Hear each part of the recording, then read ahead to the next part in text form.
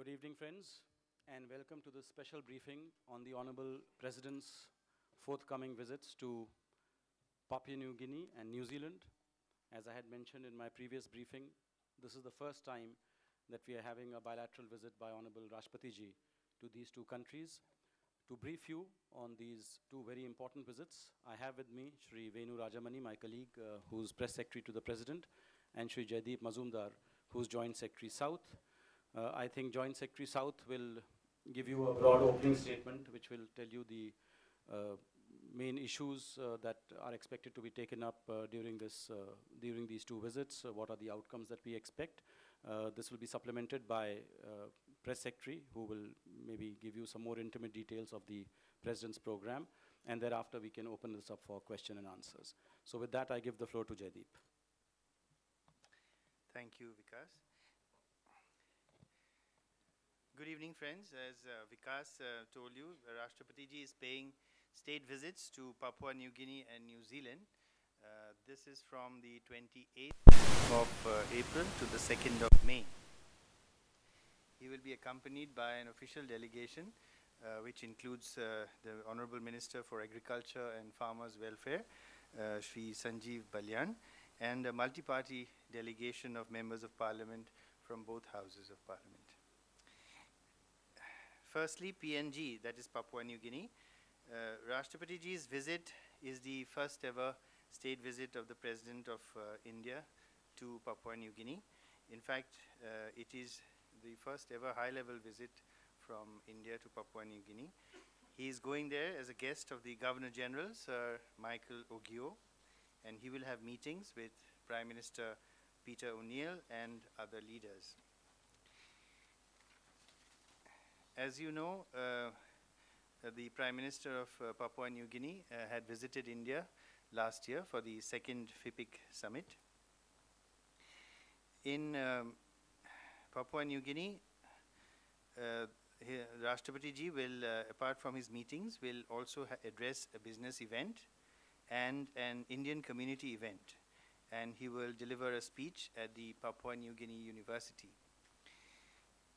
This visit is part of our growing engagement with the Pacific Island countries. As you know, the first uh, FIPIC summit, the Forum for India and Pacific Island Countries Summit was held in uh, Fiji and this was followed last year by the second summit which was held in uh, New Delhi and Jaipur. Uh, so this uh, is a progression of that engagement. Uh, Papua New Guinea is the largest um, country among the Pacific Island countries with a population of about 8 million little less than 8 million. And it is also the largest in terms of geographical size, uh, almost half a million square kilometers. It is a country rich in oil and gas and in minerals like nickel, cobalt, gold. India has had a high commission in uh, Papua New Guinea since 1996 and Papua New Guinea has set up a high commission in New Delhi in 2006. In fact, uh, Fiji and Papua New Guinea are the two only two countries among the Pacific Island countries where India has a resident presence. All other countries are concurrently looked after from other nations. As I said, uh, the, the uh, Prime Minister of uh, Papua New Guinea had visited India in 2015 and the Speaker of the PNG Parliament had visited India in 2013. Papua New Guinea is looking towards India for many of its development needs, such as in the health sector, capacity building in uh, IT, agriculture, and infrastructure development. And a line of credit is being finalized for infrastructure projects to be done by India in Papua New Guinea. The country also is home to about 2,500 Indians and they are mostly educators, doctors, other professionals, and members of the clergy. The agreements are under negotiation uh, in the areas of uh, agriculture, IT, infrastructure financing, and health. Moving on to New Zealand, Rashtrapati is paying a state visit to New Zealand as a guest of uh, Governor General Lieutenant General, the Right Honorable Sir Jerry Mateparae. This will also be the first ever visit by the President of India to New Zealand and is therefore viewed with great anticipation. Prime Minister Rajiv Gandhi had visited New Zealand in 1986, which was the last high-level visit from India to New Zealand. The Governor General, the then Governor General of New Zealand had visited India in 2008 and 2010, and again in 2011. Prime Minister John Key has also visited India in 2011. Recently, our two prime ministers met in a bilateral meeting on the margins of the Nuclear Security Summit in Washington on the 1st of April this year. During his visit, Rashtrapati will have meetings with the Governor General, the Prime Minister of New Zealand, and the Leader of the Opposition. He will also address a gathering of top New Zealand businessmen. He will also address an Indian community event hosted by our High Commissioner. Rashtrapati will address the students and faculty of the Auckland University of Technology and will interact with Indian students there. According to New Zealand country strategy paper, its goal is to have India as a core trade, economic, and political partner. The visit is aimed at realizing that goal. New, New, Zealand has traditionally been a friendly country to India. It supports India's aspirations for permanent membership of the UN Security Council. It is home to a very large number of persons of Indian origin and Indian citizens. This number is about 175,000 and constitutes the largest group of skilled migrants. Out of this 175,000, as many as 67,000 are born in India. The number of students, Indian students in New Zealand has grown exponentially over the last few years. It now numbers about 23,000 and last year alone the growth was about 67%.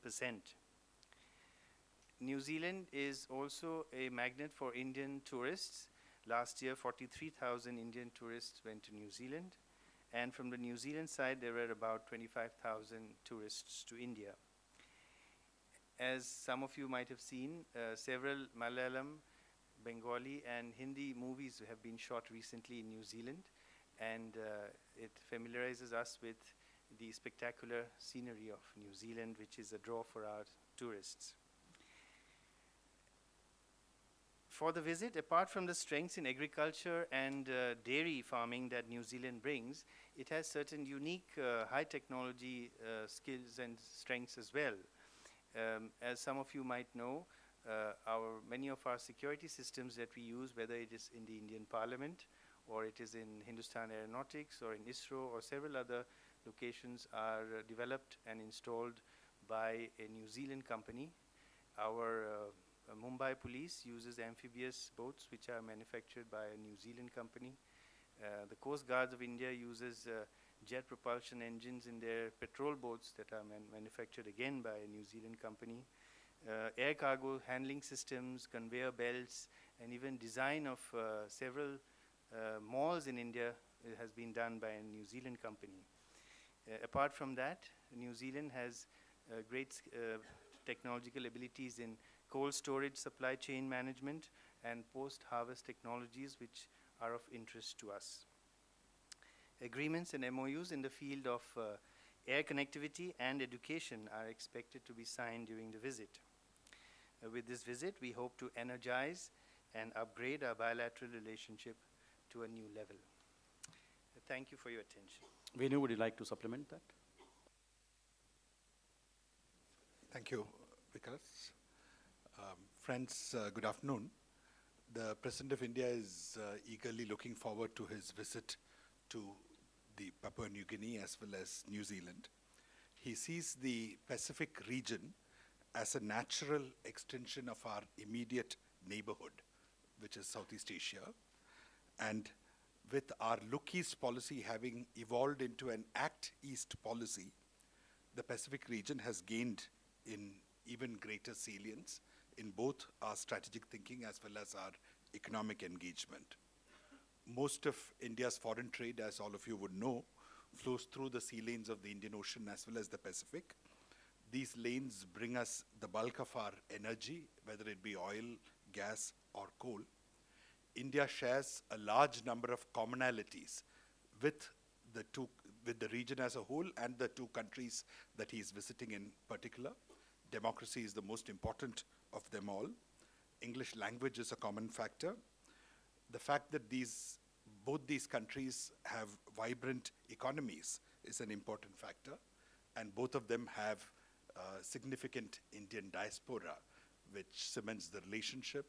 In recent times, as Jaideep mentioned, uh, Bollywood and Indian films have been a factor which has brought our in New Zealand and India together, just as much as cricket has always been a common link between the two countries.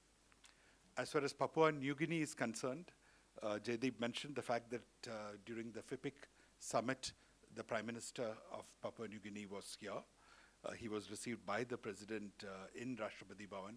Many of you might recall the fact that uh, this happened almost immediately after his spouse passed away. Still, the President went ahead, did not change this important international engagement, and met the leaders of the Pacific Island countries who had come, including the Prime Minister of Papua New Guinea. He sees his visit as marking a new beginning. Both these countries, it is the first time ever that a state visit is taking place. The goal is to establish a much stronger relationship with Papua New Guinea, which is the largest both in terms of population and geography, as has been mentioned. India also has the largest volume of bilateral trade with Papua New Guinea, over US dollar 200 million. And the president hopes that this visit will be a precursor of intensified economic development as well as security cooperation, which will help us realize the untapped potential in bilateral relations with Papua New Guinea as well as with New Zealand. Uh, let me mention that uh, the president, uh, in his in the various capacities uh, that uh, in which he has functioned in the past, has never had a chance to visit the Pacific Islands. So he has never been to Papua New Guinea before. He has never been to any of the Pacific Islands uh, before. He has been to New Zealand previously in 1995. He went there for the Commonwealth Summit, the Auckland Commonwealth Summit. Those who, a few who have read his, the second volume of his memoirs, you will find uh, a detailed section there narrating his experiences in Auckland. That was the summit when President Nelson Mandela uh, attended for the first time after being released from prison, and he was the hero who dominated the entire summit.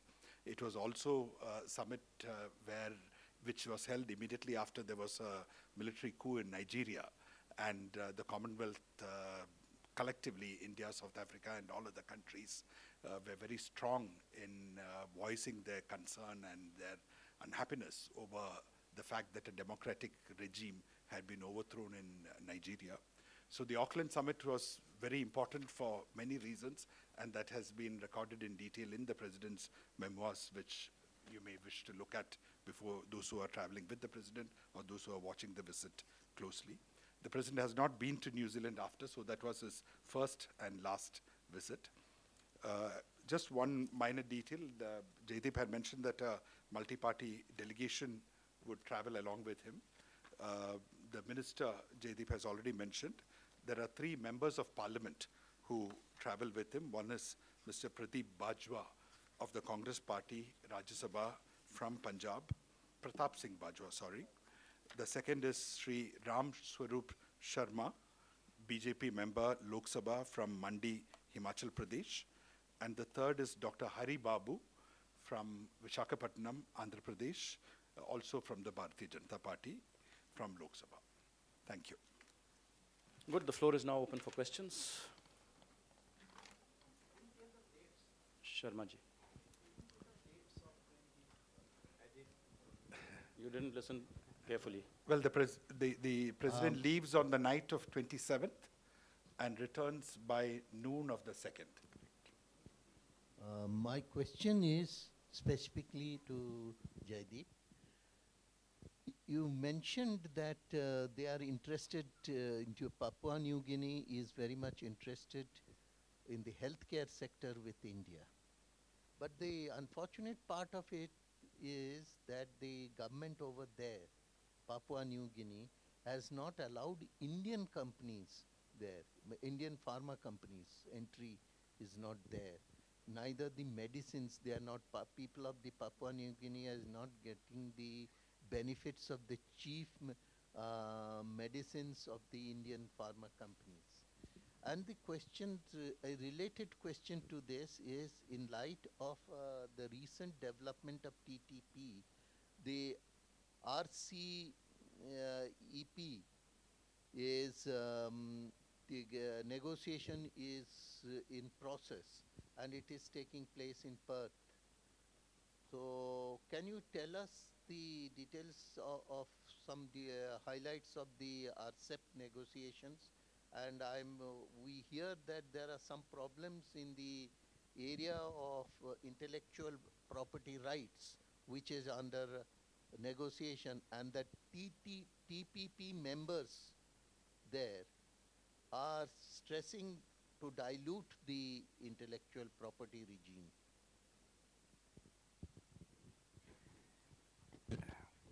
I thank you for those questions.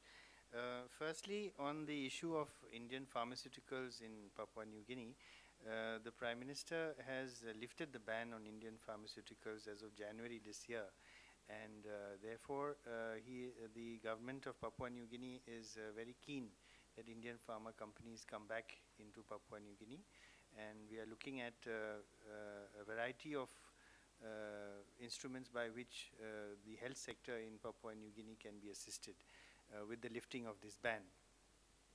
On the negotiations that are going on in um, regarding RCEP, uh, I will not uh, hesitate to go into the details of it. Uh, firstly, of course, this is a press briefing for specifically for the purposes of the visit of the uh, president to Papua New Guinea and New Zealand.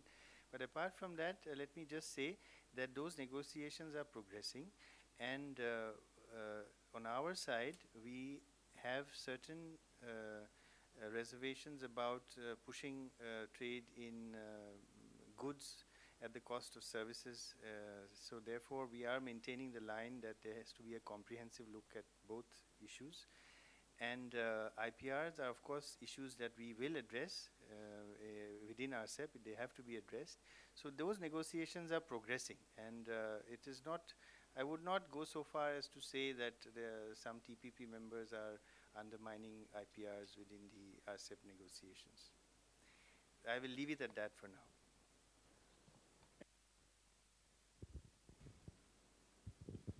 Uh, Sir, uh, as uh, we know that Papua New Guinea is very rich in oil and natural gas, and there are some companies are operating there, they're supplying gas to China, Japan, and other Southeast countries. Whether looking, whether we are looking at any kind of a cooperation in the energy sector, and secondly, what Venu has mentioned about security cooperation, can you elaborate on that? What kind of security cooperation we are expecting?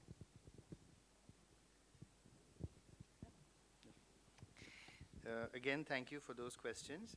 Yes, uh, on the issue of natural gas, uh, Petronet of India has a, an MOU with Petromin of uh, Papua New Guinea. Uh, they have a 22.5% offtake right on LNG uh, from the Gulf terminal. Um, they have not yet chosen to exercise that right, uh, but it is there. And not only Petronet, but other Indian um, oil and gas majors uh, would also be interested, and uh, this is something that we will pursue after uh, the, the visit. That is one. On security cooperation, uh, security itself is uh, a very wide, has very wide connotations.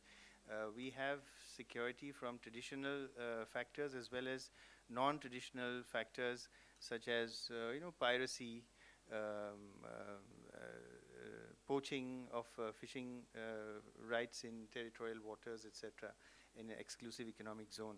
So as we have offered even during the FIPIC summit, uh, coastal surveillance radars for Pacific Island countries, uh, uh, we are open to uh, assisting them with uh, patrol craft uh, to patrol their maritime areas. So these kind of cooperation are what we have offered to the Pacific Island countries.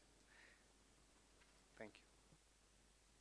Tripti? I heard you mention that there are 23,000 Indian students uh, studying in New Zealand and uh, a discernible rise of 67% registered last year. do we have a corresponding figure in terms of the students coming from New Zealand? And do we have any exchange program to encourage those students coming here? Uh, no, I'm sorry, I don't have the figure of New Zealand students uh, studying in India. I'm sure New Zealand High Commission should have those figures. There are no other questions. Okay. Mukesh. Sir, uh, can I ask something else other than this topic? This is a press conference since exclusively on President's visit to Sir, Papua New Guinea and New is Zealand. very hot There no other issue that will be addressed at this press conference. This is exclusively on the President's visit. For other questions, there is a press conference at 4 p.m. on Thursdays. Sir, uh, it would be too okay, late. that concludes the press conference. Thank you all. Now, Just Donkun Isa.